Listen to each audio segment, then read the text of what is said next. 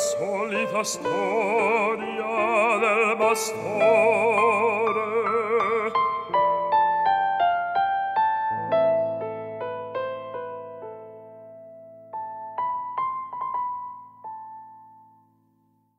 Il povero ragazzo voleva raccontare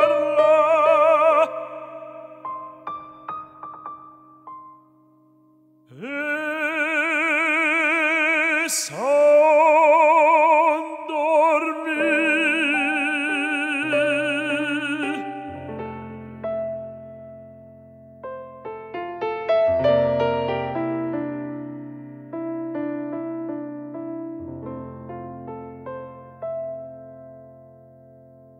C'è nel sonno l'oblio.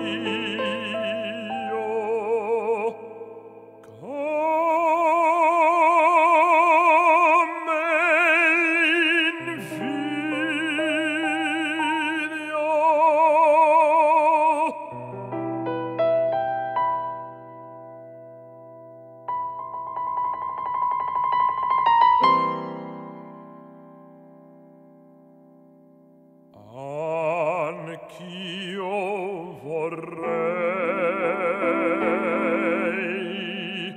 dormir così